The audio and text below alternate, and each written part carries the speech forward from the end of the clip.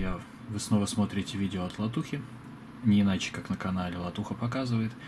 И не глядя вот на это вот количество смартфонов на столе, я хочу сейчас поговорить о том смартфоне, которого у меня еще и нету. Если зайти на сайт продавца Дисун в магазине Алиэкспресс, вы можете отсортировать все товары по категории, скажем так. Например, выбрать по производителю. Я выбрал Blackview и вижу, что в новинках у них числится модель 6800 Pro, которой, само собой, у меня пока еще нет, ее нет ни у кого, потому что она еще не поставляется людям, это идет предзаказ. Это предвосхищаю вопрос тех, кто будет спрашивать, а почему так долго обрабатывается заказ. Да потому что у них еще нет этих смартфонов. Так же, как когда-то э, Blackview BV9500 также шел по предзаказу, и только недавно его стали отправлять людям. В общем-то, модель 9500 я, конечно, жду, скажем так, ради поприкалываться, большая батарейка, все такое, но я не возлагаю больших надежд на нее. Почему? Потому что у нее экран, если сейчас откроем ссылочку, не утоплен абсолютно. То есть берем какую-нибудь фотку сбоку, нет, это сзади. Ну, сейчас перемотаем ниже, сейчас что-нибудь найдем. И мы увидим, вот, например, да, что у нас нет никаких выпуклостей вокруг экрана, то есть экран, грубо говоря, не защищен вообще. Нечто подобное у меня как раз вот валяется на столе. Этим я сам придумал защиту экрана. Этому вот у ребенка придумали крышечку, чтобы экран лишний раз не кокнуть. Точнее, не появился лишний шанс его кокнуть. Ну и вот яркий пример. 9000 Pro я наконец-то первый раз в жизни кокнул экран. Поэтому, честно говоря, меня эта моделька не очень-то порадовала, и сейчас я хочу поговорить о другой, о следующей, скажем так, грядущей модели, которая тоже есть в этом списке. Моделька 6800 Pro. Почему она? Ну, потому что она просто она следующая. Что мы в ней видим? Ну, во-первых, ценник пока что конский. Я думаю, эта модель столько стоить не будет, потому что процессор у нее все-таки староватенький, но в то же время замечу. На этом процессоре этой фирмы у меня было два смартфона, точнее две модели, смартфонов три. Оба работали просто офигенно.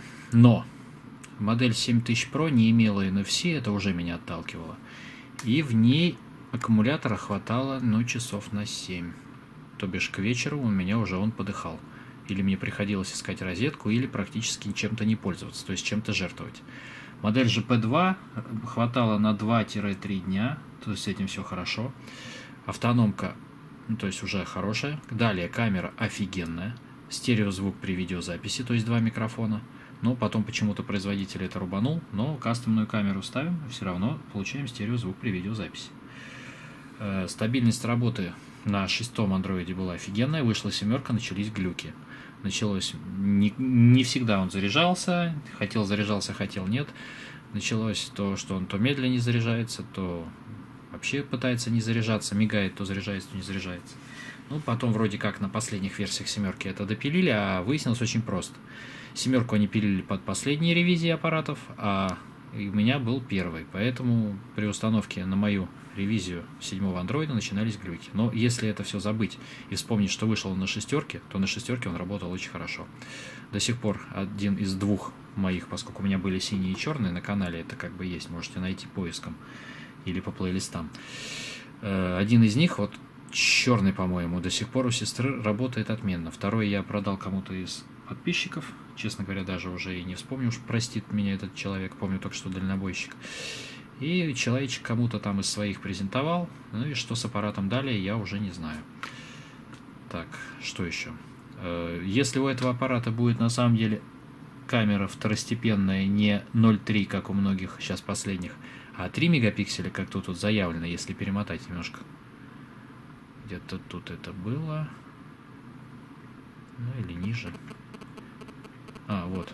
16 плюс 3 то тогда, возможно, камера будет и работать по-другому. Например, как в модели 9000 Pro. Там камера дает э, эффект псевдостерео изображения, когда он пытается изображение качать в разные стороны, как будто вы его рассматриваете с разных сторон. Он позволяет более точно определять контуры объекта за счет второй камеры и, вырезая его в одном месте, например, вставлять его в другое. Ну, посмотрим. Но, напоминаю, 6750T это 8 ядер, предыдущее поколение, процессор не новый, поэтому ценник 260 баксов это завышен. Я надеюсь, производитель прислушается и сделает подешевле. В то же время аккумулятор у 7000 модели Pro был 4 ампера, и аппарату его не хватало, поэтому радует, что здесь аккумулятор уже больше. То есть с этим процессором надеюсь, день уже будет у меня тянуть. Вот, 6580. Посмотрим. Далее, почему мне этот аппарат понравился? Потому что если мы найдем его боковую фотку, ну тут уже видно, но плохенько. Ну, в принципе, догадаться уже можно. Сейчас найдем покрупнее. То вот, видно, что у него вот эта вот приблуда сверху и такая же точно снизу, они выпирают. Соответственно, экран будет защищен. Потом мне нравится, что здесь есть болты, то есть его можно будет разобрать, а не как 5800, который я до сих пор не знаю, как разбирается. Камера заявлена Sony, это тоже круто. Ну, Face Unlocking, NFC полноценный. Короче, вот здесь это уже как будто работа над ошибками по аппарату 7000 Pro.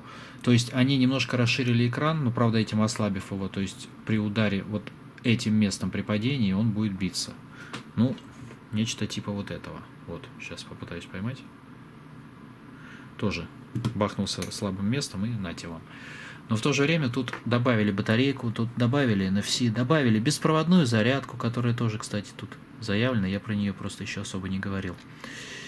То есть они, грубо говоря, сделали хорошую такую работу над ошибками. И вот это вот окошко, я так понимаю, диод оповещений. То есть тоже он никуда не пропал, все на месте. Двойная светодиодная вспышка двухтональная. Сканер отпечатка на задней панели. Ну, кому-то плюс, кому минус. Мне лично минус. Э, порт для карт памяти сбоку, это тоже значит, что вы разом не можете поставить две симки и карту памяти. Ну, чем-то приходится жертвовать. Ой, проушина для ремешка тоже мною не обнаружено. Динамик 1. Это, в принципе, даже и хорошо. IP68 на корпусе, но в спецификациях IP69. Кому верить, я не знаю. Но, на мой взгляд, аппаратик получается такой, уравновешенный. Особенно учитывая одну маленькую вещь. Я сейчас вам покажу, что, во-первых, заявлено, что он в конце августа должен выйти, на самом деле он еще не выходит. То есть уже задержка. А далее ребята вдруг подумали, а почему бы не сделать акцию? Так, куда это мы ушли? Обновляем. Вот. Вот как выглядит эта акция. То есть 10 сентября можно будет его купить всего за 190 долларов. Я надеюсь, вы успели разглядеть. Далее ценник будет меняться, но к 10 числу у него ценник более гуманный, потому что за 190 долларов вот эта начинка, она уже катит. 250 это, конечно, перебор, но 190 вот, оно того стоит. Плюс вам дается бесплатно зарядка и стекло, как я понимаю, или пленка, не знаю. Не успевал. Да что ж ты, блин, все. Сейчас, секундочку. Но, кисленько. Но, последний слайд, следующий. Вот, открываем. А тут уже ничего не описано про это дело. А, он еще будет в двух версиях, заметьте. А разница? Разница, разница, разница. Разницы, в принципе, никакой. А, диапазоны 3G и LTE. То есть нас интересует вот эта версия. Ну и ценник на нее, надеюсь, мы и видели, и все спецификации от нее. Только теперь вопрос, IP68 или IP69K? Они еще как-то пока сами, что ли, не определились. Но ронять, говорят, можно с высоты 1,8 метров. Это уже непонятно. То есть IP68 это не то. IP68 это водонепроницаемость. Про 5 метров, кстати, тоже врут. Там стандарт несколько другой. Ну да ладно. Ладно, суть какая, аппарат появился, аппарат можно купить за 190 долларов, а это уже must have. По-моему, вот за такие деньги его купить стоит, тем более зарядочку дают. И глаз протектор, то есть пленка все-таки, не стекло, а защита стекла. Ну, тоже, хотя бы одну зарядку дают, уже хорошо. Потому что 250 долларов это несерьезно. Ладно, хватит мне уже бубнить про несерьезность. Суть какая? Аппарат, как вы видите, красивый, продуманный. На старом процессоре специально, чтобы можно было продавать всего за 190 долларов. Я думаю, будет так, что они подымут до 250, попродают по такой цене какое-то время, а потом уронят баксов так до 200. И дальше, мне кажется, ценник установится где-то в двух, господи, на величине 200 баксов. Так что все дружно Или берем 10 или ждем. Ну и в то же время на носу у них еще одна моделька с еще более интересными параметрами, но ценник, я думаю, будет поболее. Поэтому мое мнение такое, что BV6800 Pro в принципе, можно сказать, приходит и на замену 6000 модели, как у них заявлено, но на самом деле, мне кажется, это как бы апгрейд модели 7000 Pro. У нее добавили то, что подло пиратским образом вырезали в оригинале. У нее расширили экран, при этом добавили защиту экрана сверху и снизу, поскольку 7000, напоминаю, как бы там не густецко с этим было. То есть вот, я думаю, вы видите, что никаких выпуклостей тут не было. Теперь как бы выпуклость добавили. Ну и как-то так. То есть мое мнение, что аппарат можно брать. Железо, процессор немножко староватый, но он много чего тянет. Если есть вопросы, можете посмотреть у меня на канале по 7000 Pro Plus. Восьмой Android, это уже, значит, многие вещи будут просто продуманы, пере... скажем так, код видоизменен, и просто будет все это лучше работать. Так что все. Посещаем, смотрим, изучаем. Если вам это нужно, можно брать. Если не по 250 баксов, конечно. По 190 можно. По 250 Латуха не рекомендует. Всем пока, удачи, чао и надеюсь на подписку. Увидимся и услышимся.